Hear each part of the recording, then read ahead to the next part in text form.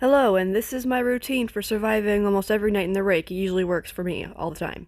Now, this part's optional, but when you first join the game, stay on this loading screen until it becomes daytime, because you don't want to be caught in the middle of the night with no supplies whatsoever. So when it becomes daytime, quickly as possible, join the game. Next, what you're going to want to do is go to the shop.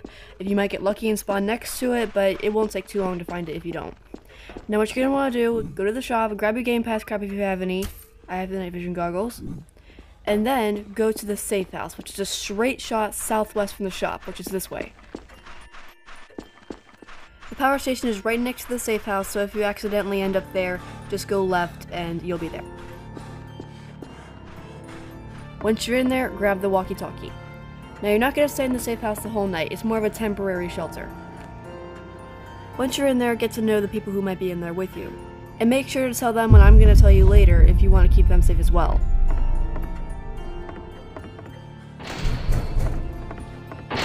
Now if you're going to want to save power, don't close the door until it says survive the night when it becomes nighttime, because that's around the time when the rake comes out of his cave. Now you don't really need to watch in the daytime if you recognize the music and the tone of it. If it gets to a tone like this, then that's how you know when the day is almost over. It's all about the music. For nighttime, it's different.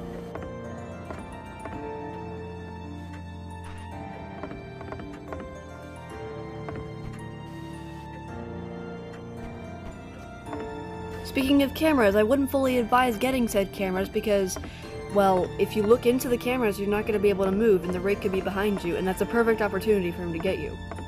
I suppose they are fine if they're in the safe house, but it's kind of difficult because if the rake sees any cameras that are filming him, he'll destroy them. I don't know if it's only in the classic edition or not, but I'm not taking any chances.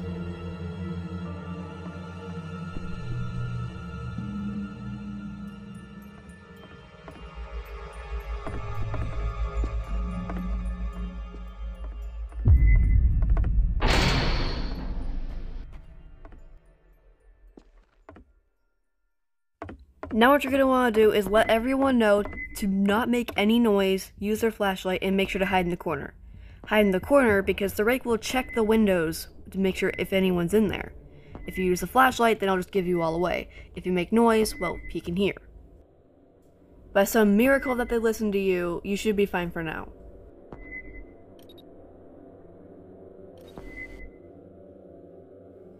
This kind of depends on how many people are in said safe house, but the safe house is usually the rake's first priority because there's a lot of people in it and that's a lot of targets for him.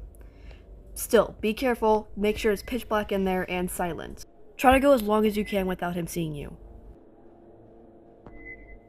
But as you can see, I'm not with the best group of people right now.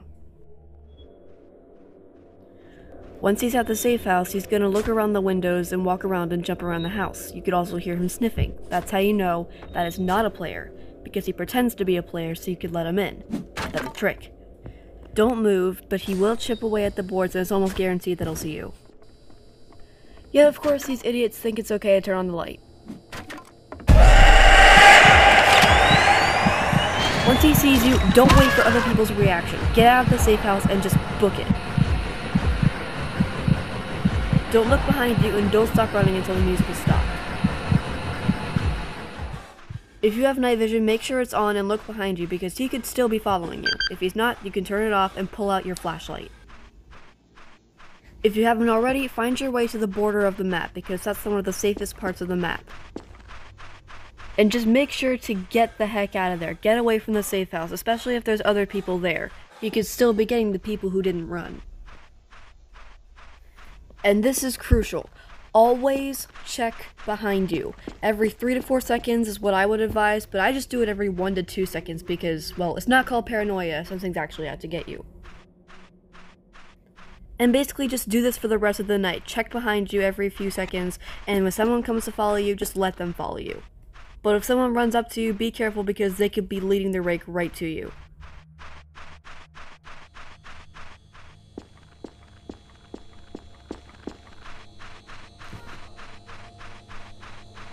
Um, don't be an idiot like it, that guy. Don't go up to the tower and blast the lights everywhere. The rake will definitely notice.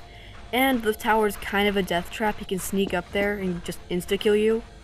But even if there is someone up there, don't bother going up there and asking them to stop. It's, you're just putting yourself at risk.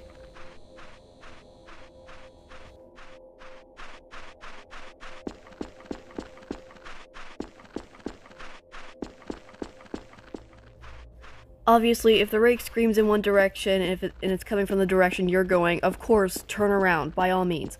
You, what you really want to do is just stay as far away from him as possible. And just do this for the rest of the night until it becomes daytime.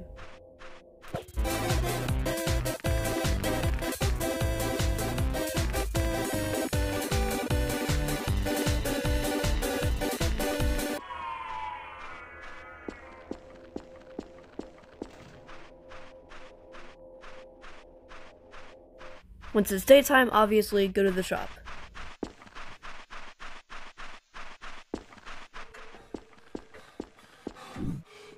Once you're there, get the watch and only the watch. Yes, you will have other points to spend, but you're going to want to save up for the tracker later. It's really important whether you're a night vision user or not.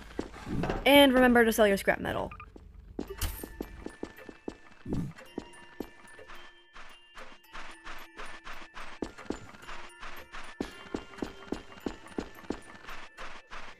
Then just go back to the safe house and do the same thing you did last night.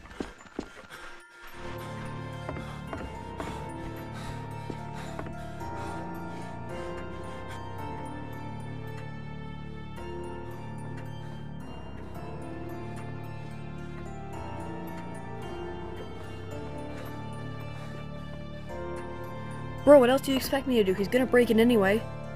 He breaks into the safe house, how else am I gonna get away?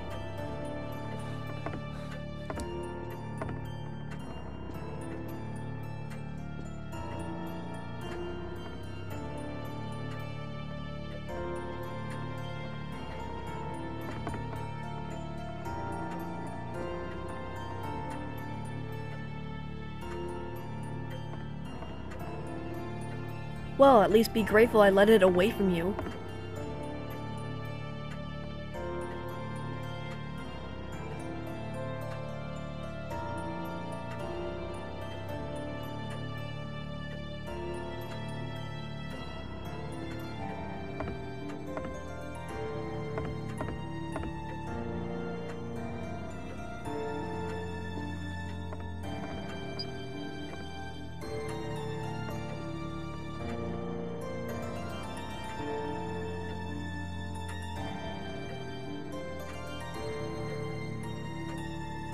Again, not with the best group of people.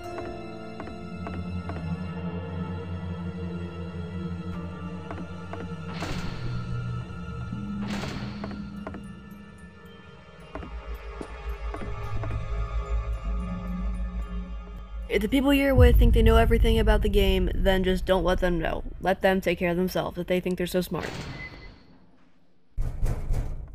Yet they proceed to use their flashlight. I don't care if they want to kill the rake, I just want to survive over here.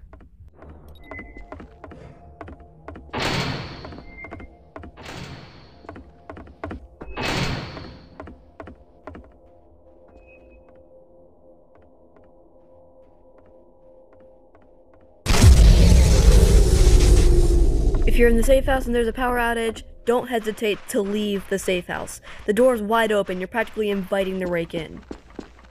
Just go right to looping the map borders. Oh, is that a is that a dude? Um Are you downed? Um it doesn't look like it. Um Alright, bye.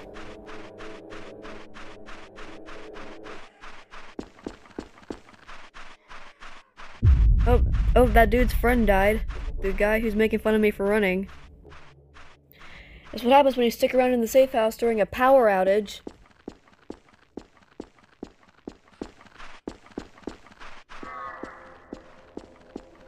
I found a flare. Don't shoot it till daytime because if you shoot a flare at nighttime, then that that's stupid. It attracts the rake and you're just dead in seconds.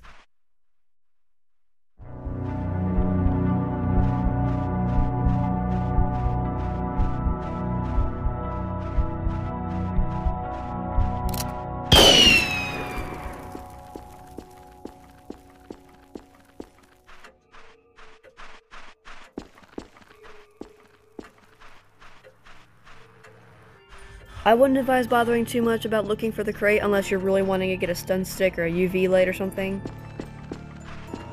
Just go on to the shop. And that is when you buy a tracker. And yeah, just basically just do that routine every night until you get enough survivals to your heart's desire. I hope this helped. Um, this is a tutorial for beginners, so you probably already know this stuff if you're like a professional at the rake.